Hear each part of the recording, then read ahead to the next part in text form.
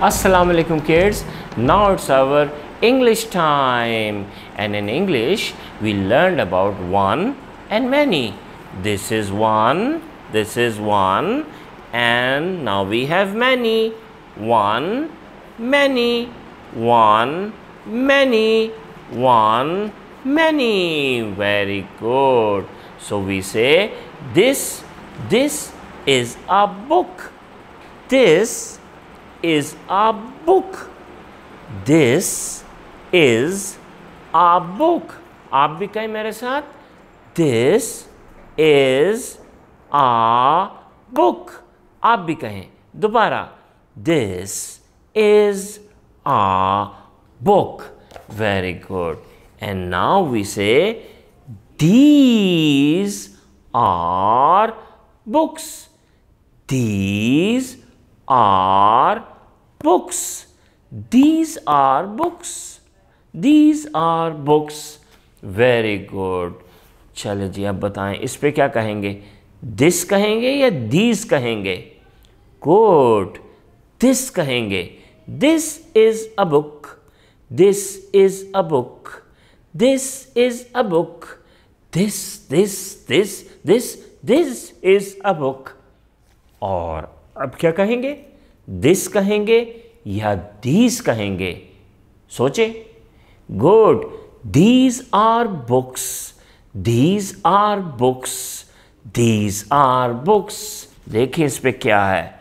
ये लिखा है this is these are this is these are this is a cat one cat this is a cat this is a cat this is a cat आप भी कहें this is a cat और ये क्या है we have three cats how many cats we have three cats so we say these are three cats wow these we say these these are three cats these are three cats हम दोनों हम सब मिलके कहते हैं these are three cats let's read it together once more these are three cats next करें are you ready चले करते हैं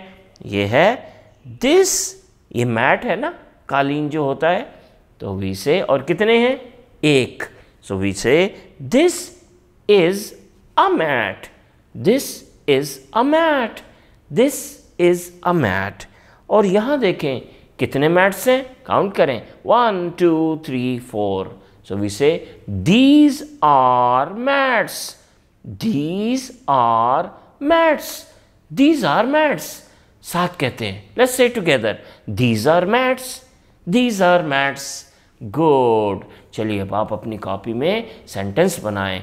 दिस इज़ अ बॉल और एक बॉल बनाना और फिर आप कहना दीज आर बॉल्स और फिर दो या तीन टू और थ्री आपने बॉल्स बनाने हैं।